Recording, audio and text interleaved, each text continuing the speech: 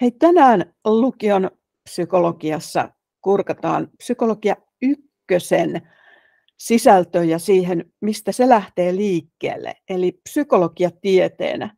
Tämä ei ole mikään kauhean vetävä juttu, että tämmöinen oppiaine, joka on teille lukiolaisille uusi, niin sen ykköskurssilla heti mennään tuonne tieteeseen aika semmoisiin niin, niin tota abstrakteihin asioihin.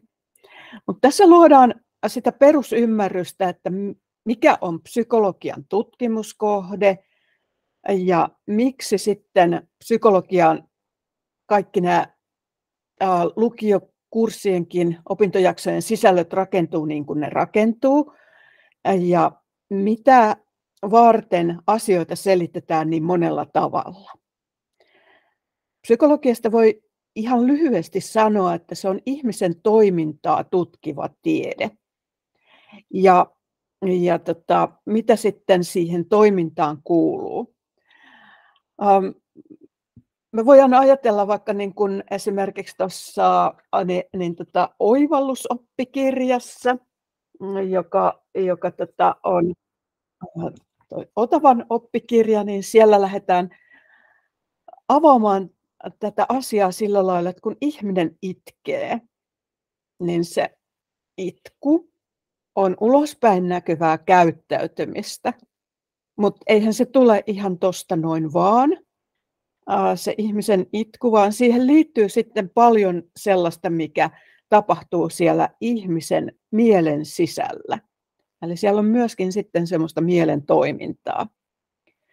Ja äh, sitten kun lähdetään tutkimaan ja selvittämään, että mistä ihmisen erilainen toiminta syntyy, mikä siellä on taustalla, niin silloin sitten käytetään erilaisia psykologian menetelmiä. Ulkoista toimintaa me voidaan havainnoida ja sitten taas mielen toimintaa, sitä on aika vaikea ulkoapäin havainnoida. Voidaan tietysti niin, niin tota, sitten lähteä kysymään ihmiseltä itseltään. Sitten voidaan selvittää vaikka ihmisen kehon tilaa, vaikka hormonitasapainoa tai sydämen sykettä tai jotain tällaisia asioita, tai voidaan kuvata aivoja, että mitä siellä tapahtuu. Ja äh, nyt noissa oppikirjoissa kerrotaan hyvin paljon sitten siitä, että millä eri keinoilla ihmistä voidaan tutkia.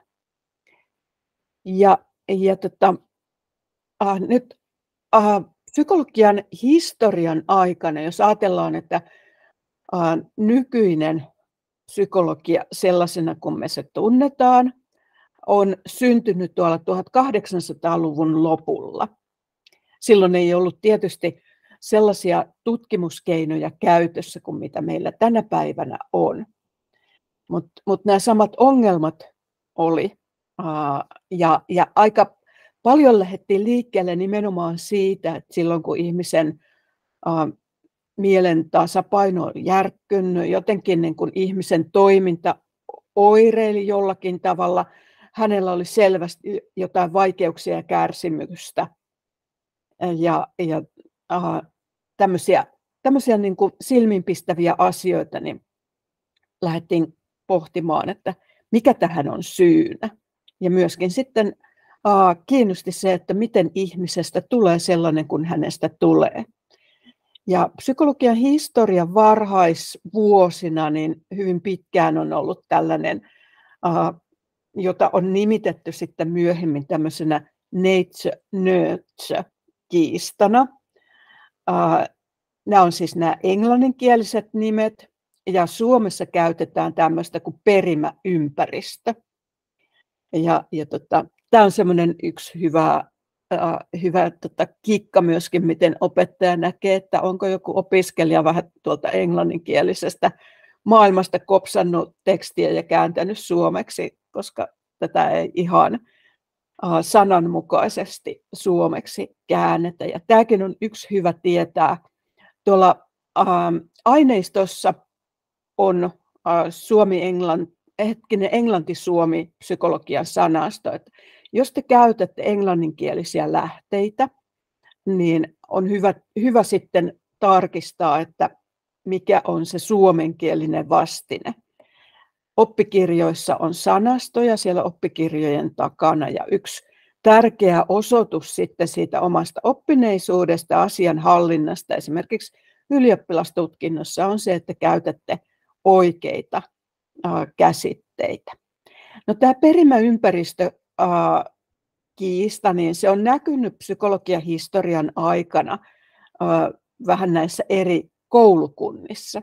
Nyt koulukunnat eivät viittaa mihinkään niin, niin tota, kouluun sinänsä, vaan koulukunta tieteellisesti viittaa semmoiseen tieteelliseen lähtökohtaan, jossa niin kun on tietty maailmankuva, käsitys esimerkiksi ihmisestä ja, ja tämmöinen niin kuin tieteellinen traditio.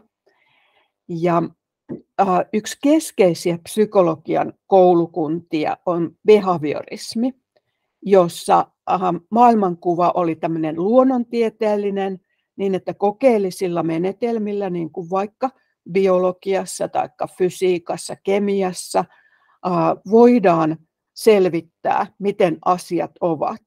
Ja silloin huomio kiinnittyi tuohon ulkoiseen käyttäytymiseen. Ja siellä yhtenä semmoisena ihmisen toimintaa selittävänä piirteenä oli sitten tuolta eläintutkimuksesta tämmöinen ehdollistuminen, kun, kun tota, niin, niin, koiraa vaikka koulutetaan, niin tietyillä palkkioilla ja rangaistuksilla saadaan se toimimaan tietyllä tavalla. Ja, ja tota, sitten hyvin erilaista, siis tämähän oli hyvin tämmöinen niin, niin tota, ympäristövaikutteinen tämä behaviorismi. Eli, eli uh, se, se ei niin kuin kiinnittänyt siihen ihmisen mielen sisäiseen uh, toimintaan kauheasti huomiota. Mutta sitten hyvin erilaisia tapoja hahmottaa ihmisen toimintaa on olleet psykologian historian aikana tämmöinen kuin hahmopsykologia, joka ei tänä päivänä ehkä kauhean paljon näy missään, mutta se voi olla jotenkin terapia muotojen taustalla. Ja siellä on tämmöinen fenomenologia, joka, joka sitten niin kuin, korosti tämmöisiä ihmisen elämyksiä ja kokonaisvaltaisuutta ja toiminnan dynamiikkaa ja, ja sitä, että miten, miten niin kuin eri toiminnot vaikuttaa toinen toisiinsa.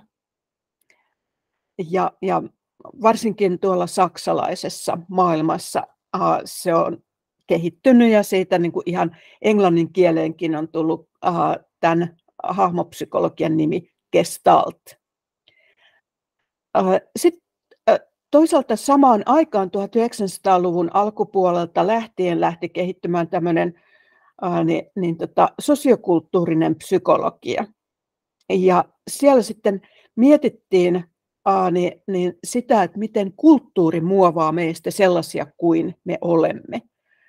Tämmöinen kulttuurinen välittyneisyys, toiminnan rakenteet, yhteisöllinen puoli ihmisen toimintaa. Ja, ja tämä ää, psykologian haara on edelleenkin ajankohtainen ja, ja tota, sen piirteitä näkyy uh, uh, esimerkiksi aikuiskasvatustieteen puolella ja aikuisen ja, ja sitten tämmöisten niin kuin yhteisöjen oppimisen puolella tuodaan esille tämmöistä.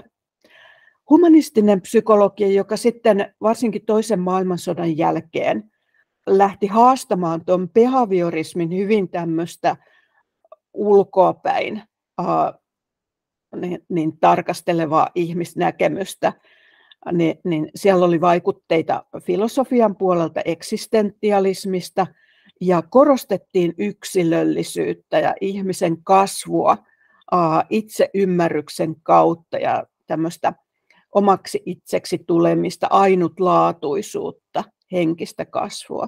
Ja tämäkin ehkä näkyy jollakin lailla ja tämän päivän esimerkiksi tämmöisessä itseapukirjallisuudessa on aika paljon piirteitä tästä. Ja, ja sit niin kuin humanistisen psykologian puolellahan taas ongelmaksi nousee se, että, että se tieteellisyyden löytäminen on sitten ehkä vähän vaikeampaa. Hirveän monille varmasti tuttu myöskin tämmöinen kuin Sigmund Freud ja hänen aikalaisensa Carl Jung ja psykoanalyysi, analyyttinen psykologia, psykoanalyysi Freudilta ja analyyttinen psykologia Jungilta ja heidän jälkeläisensä. Ja tämä, nämä varsinkin on vaikuttaneet sitten ymmärrykseen siitä, että miten ihmislapsen kehitys menee tiettyjen kehitysvaiheiden kautta ja miten psyyke rakentuu, minkälainen dynamiikka siellä on tiedostamattoman ja äh, esitietoisen ja tietoisen välillä ja traumojen vaikutus ja, ja sitten esimerkiksi unien selittäminen. Tänä päivänä psykoanalyysi on, on ehkä enemmän tuolla psykologian historiassa, mutta ihan mielenkiintoisesti toisaalta sitten niin, niin tota, aivotutkimus ja, ja tämmöinen monitieteinen puoli psykologiasta, niin on vähän herättänyt ajatuksia siitä, että, että äh, tuolla psykoanalyysin puolella, kun ei ollut vielä niitä äh, todentamiskeinoja ja muuta, niin siellä sitten jotkut teoriat, niin ei ne nyt ihan niin tuulesta temmattuja ole olleet, mutta tosiaan niin enemmän ehkä, ehkä niin kuin vaikuttanut sitten tuonne terapiapuolelle ja ei enää ihan niin ajankohtainen. Kognitiivinen psykologia alkoi nousemaan sitten varsinkin Piaceen aikaan ja, ja lähdettiin tutkimaan sitä, että miten sitten ihmisen tietoinen ajattelu ja tämmöinen toiminta vaikuttaa. Tavoitteellinen tiedon käsittely, ihmisen oma aktiivisuus, itsesäätely, sisäiset mallit, toiminnan ohjaus, tämän tyyppiset asiat. Ja ja sinne sitten on liittynyt konstruktiivinen näkemys esimerkiksi oppimisen puolella. Mutta näissä historiallisissa selityksissä on syy sille, miksi psykologiassa selitetään ihmisen toimintaa niin monella tavalla.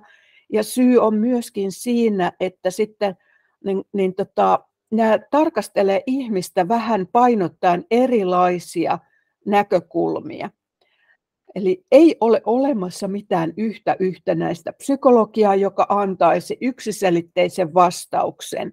Ja tämä on nyt teilläkin hyvä pitää mielessä, että äh, ajatellen sitä, että äh, menette sinne ylioppilaskokeeseen, siellä on tehtäviä, niin on ihan hyvä selittää monella tavalla yhtä esitettyä kysymystä. Ja, ja tota, ihmisen toiminta on hyvin kompleksinen. Sitä voidaan siis tutkia monella eri tavalla, monesta suunnasta, ulkoa ja sisältä päin. Myöskin sitten sosiaalipsykologian kannalta niin ajatellen niitä ryhmiä ja vuorovaikutussuhteita ja sitä ihmisen sosiokulttuurista puolta. Ja tämä on tärkeä painaa mieleen, että on nämä eri tarkastelutasot, biologinen, fyysinen, jossa esimerkiksi aivojen rakenteet, hormonit, kaikki tämä tämmöinen ihmisen ikä, erilainen fyysinen kunto, sairaudet vaikuttaa. Psyykkinen puoli, jossa sitten mennään sinne mielen toimintoihin, tunnereaktiot, motivaatio, erilaiset aistitoiminnot ja kaikki tällaiset. Ja sosiokulttuurinen, kuten vaikka lapsen, lapsuuden kasvuympäristö. Eli painakaa mieleen, ja mä, äh, mä oon pitänyt tämmöisenä muistisääntönä, että kuvitelkaa, että ihmisillä on ikään kuin kolme ihoa.